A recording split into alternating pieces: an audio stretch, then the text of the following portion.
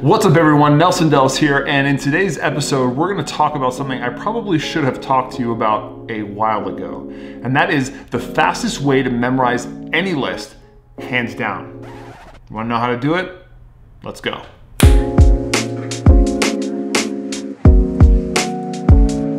All right, so the name of the technique is the linking method. It's been around for years, it's super simple, and basically what it is, is what the name of the technique says. It is linking information from one thing to the next. So essentially you're just building a narrative from one item to the next that links them all together into one cohesive story. So the idea is that when you picture it, and of course the story needs to be very bizarre, over the top, whatever, with all these images, but they need to be connected. That's, that's important. But the idea is that once you've had it all connected, to recall it, you just start at the very first image and you just continue the chain, the link, till the end. Think of like a metal chain of links. One is connected to the next, that one's connected to the next one. You gotta go from one to the other. They are all connected into this one strand.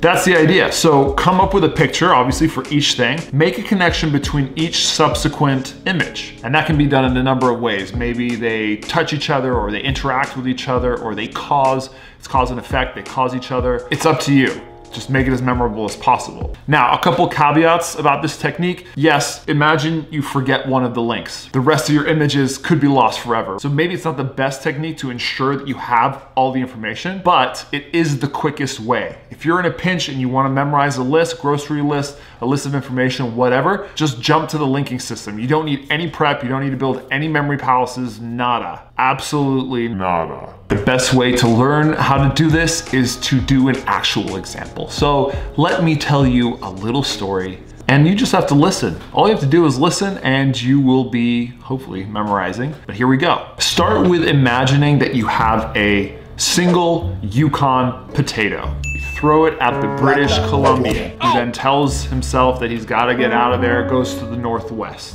He goes into hiding, he finds a hideout with Albert in it, who suddenly is like, I will have none of it. So he jets out of there and bumps into Sasquatch, who's cooking a man in a tub, and he flips this on switch that just tears the person apart. You, as an observer, you suddenly start to be all pumped up, adrenaline rushing, you just want to save the guy, so you say, K, put him on your back. K, back, and make a run for it. You find a new land filled with labs, you spend the night there burning new wick candles, and then as you go to bed, you see a big nova in the sky that you throw some kosher salt at because it's part of your tradition. And then when you wake up, it's Prince singing Purple Rain. This is giant head, Prince head. End of story. Freaking weird. I know.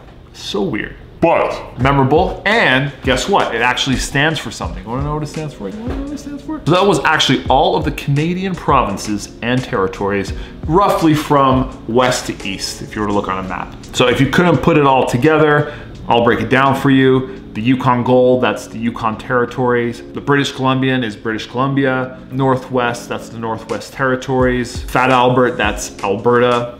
Nunavut, is Nunavut. I don't know how to pronounce that correctly, but that's one of the territories. Then the Sasquatch was Saskatchewan. The Man in a Tub is Manitoba. On button Tear, that's Ontario. K, back, that's Quebec. The Newfoundland, that's Newfoundland and Labrador. The new burning wick candles, that's New Brunswick. A bit of a stretch, but you can get it from that image. And then the Nova with the kosher salt, that's Nova Scotia, or also a stretch. And then finally, when you wake up, it's Prince with his head. Prince Edward, Prince Edward Island. Oh yeah! So that's it, right? So, and it was pretty easy. Just come up with a really weird story that kind of connects it all into one strand, one narrative. It's almost like storytelling. It's not even almost a method. You're just telling a story with all these weird images in a certain order. But that's the linking method. So now when you're on the run, you need to memorize something in a list, revert to the linking method and you'll save yourself. You're welcome. That's it for now. Love you guys. Subscribe, like, share, all those things. You know, you know the drill. You, you just, you know it. I've watched enough of these. I'm out.